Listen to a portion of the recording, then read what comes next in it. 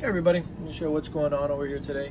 Got a couple of drivers here on this unit that we need to find, so I'm gonna record that. What we did is with this unit here, we swapped this hard drive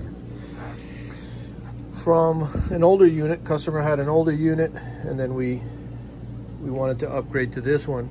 So we took their hard drive, they had a regular hard drive. We cloned it to the SSD, so we got better performance and and then we booted it from here. It's Windows 10, so Windows 10 is pretty pretty flexible as far as you know booting on another computer. Um, but sometimes you might run into some drivers, and in this case we did. So we're gonna take a look at these and see what we can find. So this one at least got some name, which is good.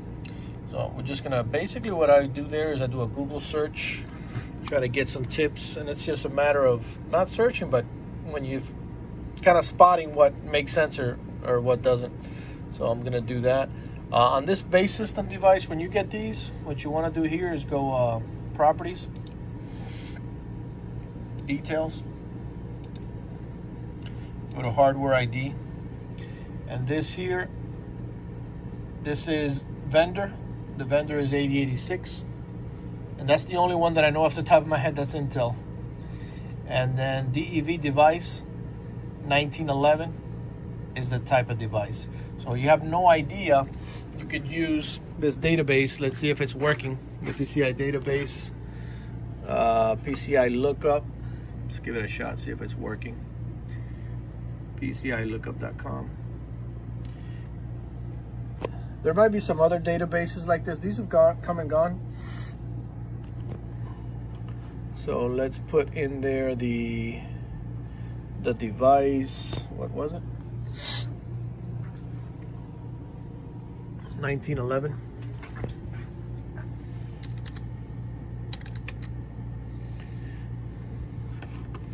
Yeah, so that's that's what this is going to be.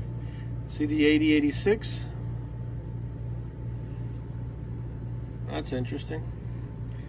And the device is 1911 and it's from Intel. So this is really strange because that says that it's a Xeon processor. So I don't know what the heck is going on there. Interesting.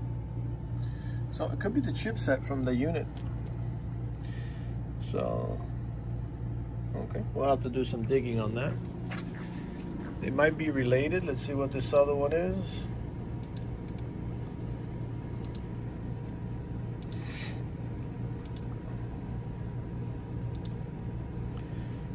Probably related, yep. So 8086 Intel A379.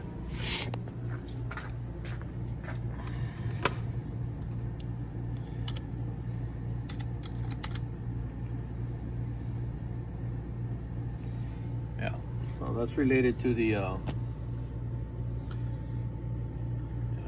Cannon Lake PCH thermal controller. Both related to the CPU. They're probably both related. So I'm gonna take a look online on the uh, on the vendor site and see what I find. Yeah, so let me tell you what we did here so far. You want to get the motherboard model. I had to get it from here because when I looked on the board, I guess the motherboard model is right behind that video card, so I couldn't get it uh, from there. So you can get some software that'll read it for you. So what we have here is we got a, uh, where you got MPG Z390 Gaming Edge AC. Went on uh, Google, went to their site, uh, MSI, and drivers. And we're gonna try the chipset driver. So I'm already at that already. Where am I at?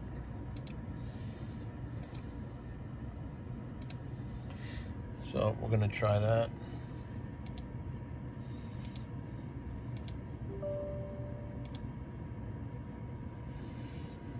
See if that's it. Since they're both Intel related, highly likely uh, for whatever reason, maybe the the old ones kind of got stuck in there. So it already installed. It's asking me to restart. So if you take a look, they're already in there. Uh, can't even find where the heck it's at, but once we restart this, actually we don't even have to restart it. That's pretty much it. It's telling me to restart, but we'll restart later and then I'll restart it and take a look. But you can see they already disappeared, right? So they're gone. So that was it. That was uh, a simple one in this case. So to wrap that up, you take a look at your drivers, get all the details, at least with the vendor, right? They're both Intel.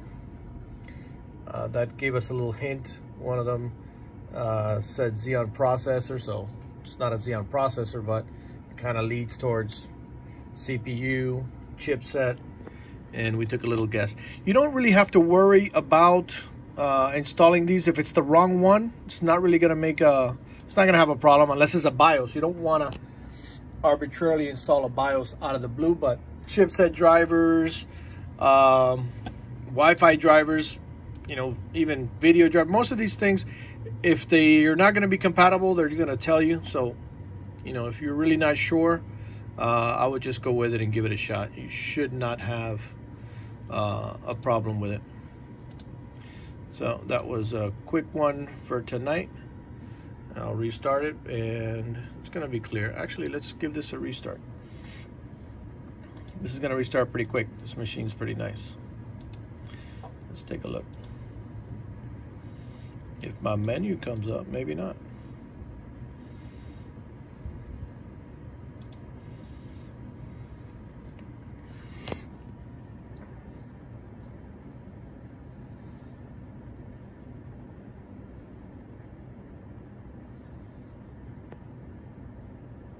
So that unit basically is the drive that we got from a Dell. It's like a, just a regular Dell that the person had. They upgraded their computer and then they said, well, let's, you know, kind of go up the, the ladder, right? Go up the chain. So we got the drive from that computer and put it here. So they're pretty, you know, the whole computer's, you know, different, everything, but Windows 10, like I said, it's pretty flexible. So. Let me uh, just log in here.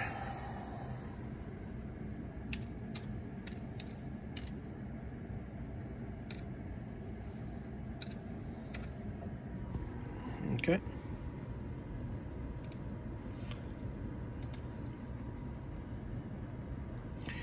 And our device manager is clear. And that's it. And that's what's going on tonight at PC 911.